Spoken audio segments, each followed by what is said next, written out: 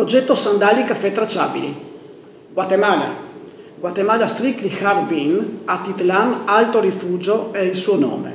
Siamo appunto nella regione di Atitlan, eh, località Agua Escondida, a un'altitudine che supera i 2200 metri, quindi estremamente elevato. Il nome del coltivatore è Juan Pira. La piantagione, come deriva dal suo nome, è Alto Rifugio.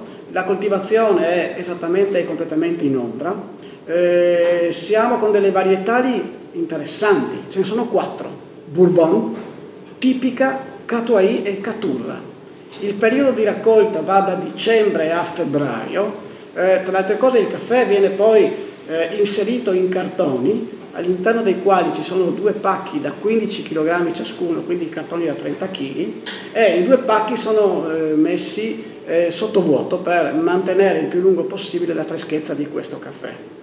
Caffè che viene lavato con il sistema classico e tradizionale eh, e con la fermentazione in vasca e adesso non c'è di male che andarlo a approfondire la sua conoscenza. Ed ecco l'aspetto del Guatemala Titlan Alto Refugio. Sicuramente una bella lavorazione, un caffè arabica lavato e anche questo lo si evidenzia soprattutto nella tostatura dove il taglio bianco risulta molto evidente lavorazione omogenea, eh, un bel crivello, siamo circa all'85-87% di un crivello più 16, dove all'interno del quale circa il 50% è superiore al crivello 17. Interessante notare come sviluppi durante la tostatura. Guatemala Altitlan Alto Refugio, fatto per espresso.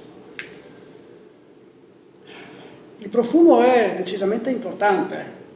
La crema la vedo abbastanza bene, nonostante sia un arabica lavato, anzi direi assolutamente importante, ma ciò che mi colpisce subito è il profumo.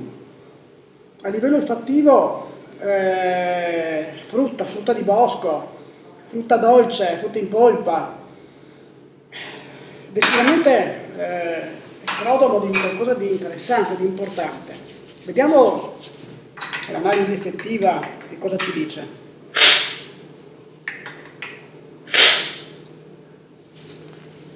Ma eh, la corposità, devo dire, è assolutamente importante, eh, supportata poi eh, da una pastosità, potrei definire dolce, potrei definirla eh, di frutta, eh, frutti di bosco, frutti rossi, quindi mirtilli, lamponi, fragoline, che però vengono poi assolutamente come dire, accompagnati eh, da della frutta più dolce, potrebbero essere ciliegie, albicocche. Vediamo un attimino la tazzina dolce che cosa ci porta.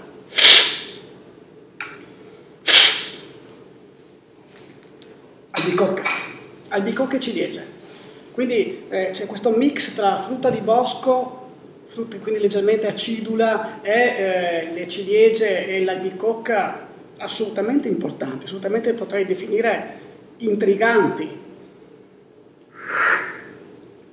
Beh, il caffè che è bevuto da solo ha assolutamente una sua logica, è un caffè che fa tazza nella maniera più assoluta eh, e sicuramente anche questo direi polivalente.